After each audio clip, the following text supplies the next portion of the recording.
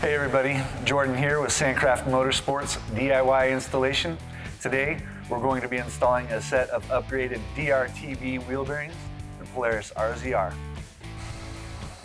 We're going to start by raising the vehicle and supporting it on stands. With the vehicle supported, we're going to go ahead and remove the first wheel.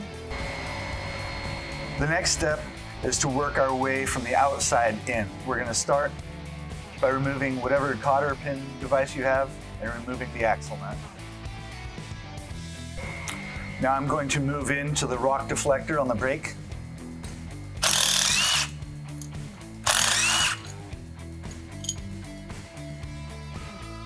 Now we're going to remove two caliper hanger bolts.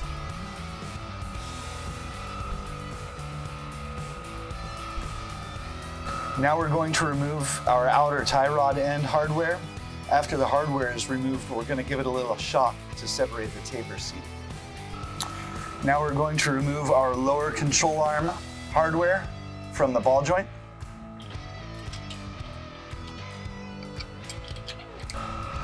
Quick note, I forgot to mention, after removing the caliper hanger hardware, you can remove the brake hub and rotor assembly. Now we're going to remove the upper ball joint pinch bolt. And when you actually remove the hardware from the vehicle, be ready to catch the knuckle. Now that we have the hub to the bearing press, what we're gonna do is make sure that our inner groove is nice and clean, free of any debris, because when the bearing is being pressed out, it will use that to score the surface. Just gonna use a standard set of snap ring pliers, remove the snap ring, and now a little trick that I found for people that don't have, say, a perfect circle cut in their table and they're using just pressing plates, is I've actually got three of the four actual hub mounting bolts here, and I use them to create an artificial table. Now that way I can use almost any shape table. From here, basically we're going to be pressing right on the inner race in hopes that it will force the whole outer race out as an assembly so from here, we're just going to set it on our table.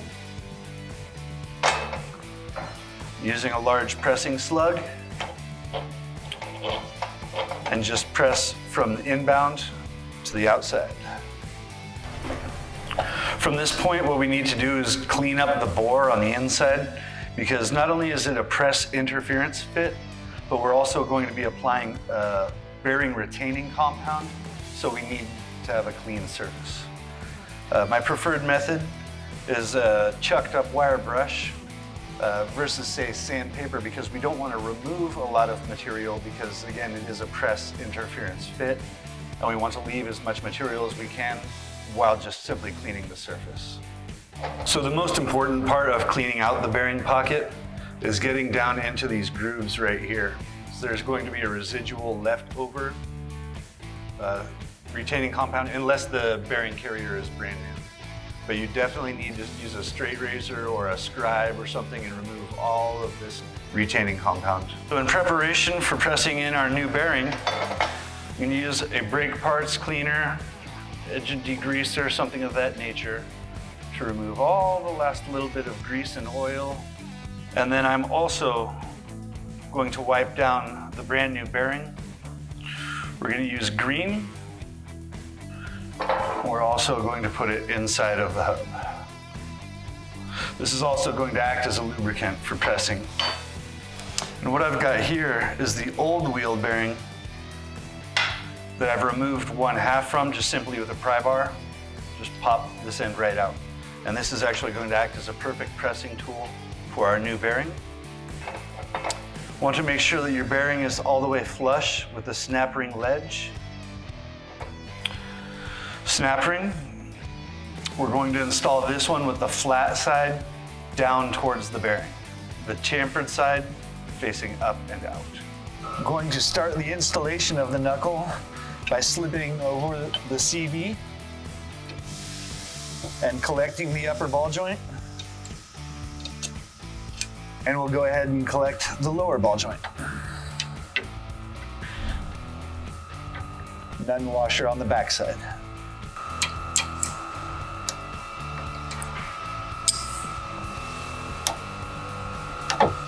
installing the tie rod.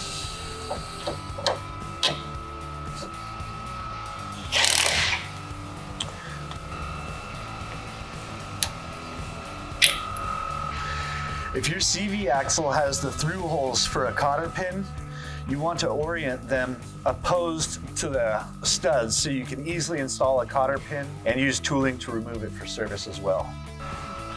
Now our caliper goes on.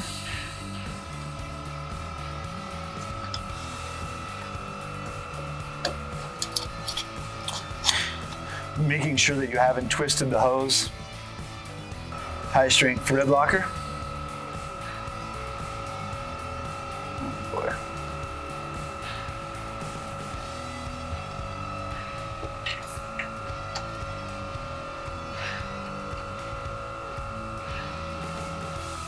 caliper rock guard goes on.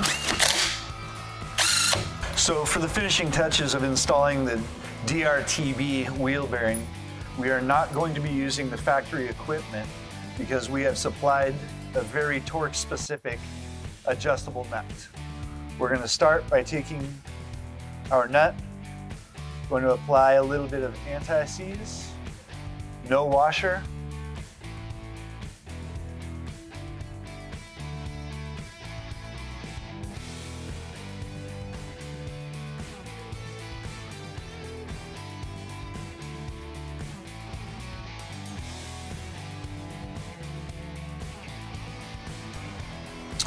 torque wrench set to 24 foot-pounds.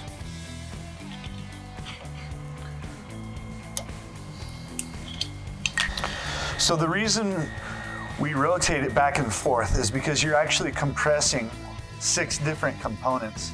And when you roll it back and forth, you're seating everything, making sure it's actually bottomed out to a zero lash.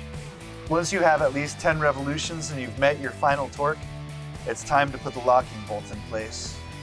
Going to add a dabble of red thread locker, three millimeter Allen, metal lock nut, and a seven millimeter wrench.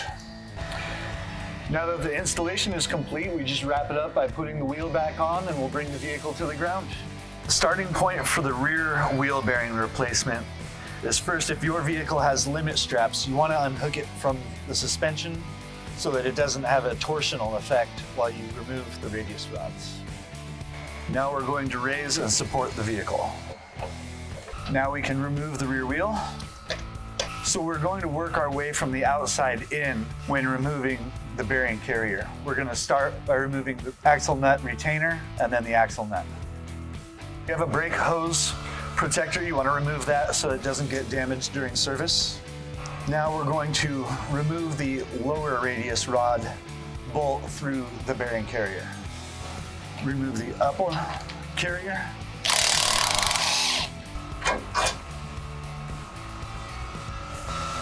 Now that we have the radius rod hardware removed, we're going to undo the brake caliper hanger bolts. Once the caliper is out of the way, we can remove the wheel hub and brake rotor assembly. Now that the trailing arm is only suspended by the shock and sway link, we're going to swing it out and pull the CV out of our way and we can access the hub mounting hardware.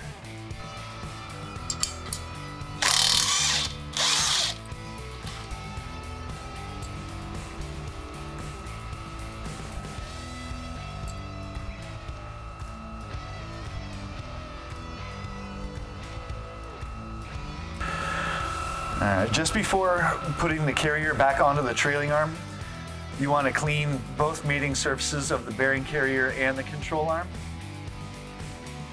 and you want to install all four bolts loosely before tightening any of them.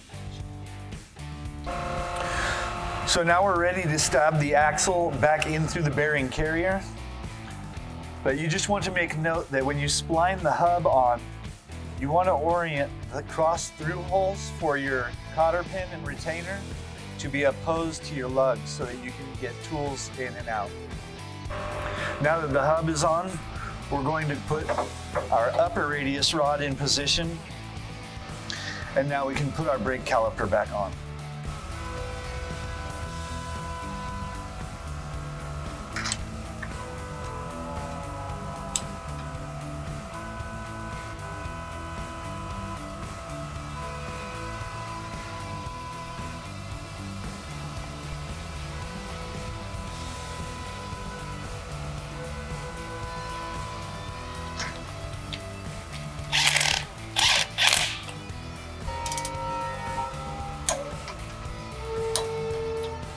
Now that our caliper hanger hardware is tight, we can install our lower radius rod.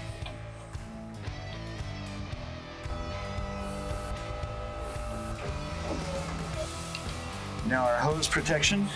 Being as how we've installed the DRTB bearing kit, we are no longer going to be using the factory washer, castle nut, or retainer. We're going to be installing the 12 point with lock bolt. Now we're ready to reinstall the rear wheel. We're going to lower the vehicle and then reconnect the limit strap. And that wraps up our DRTB wheel bearing installation. You just want to make sure that you go ahead and re-torque to 24 foot-pounds after your first ride. Just make sure everything's seated nicely. Thanks for watching. Like always, enjoy the ride.